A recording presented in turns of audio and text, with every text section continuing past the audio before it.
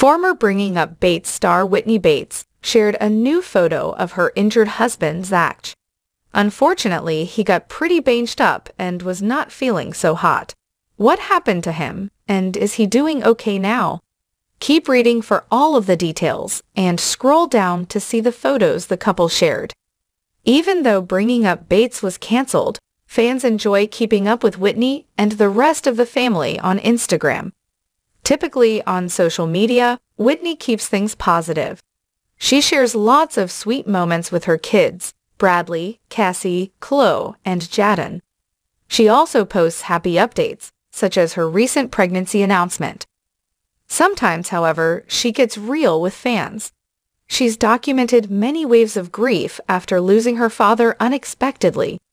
She's also shared about the ups and downs she experiences with her kids.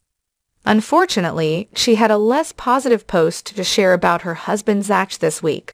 On her Instagram stories over the weekend, Whitney shared a selfie in the car, said it's been a crazy few days over here.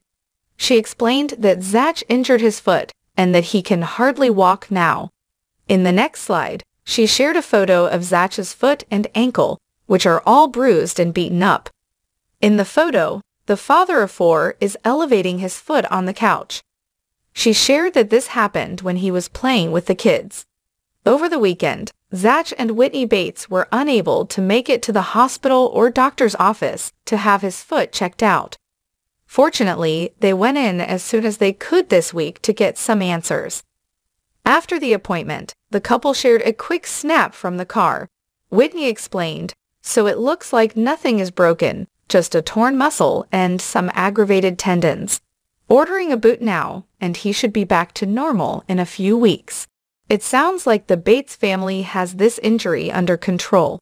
Hopefully, Zach's foot will heal quickly.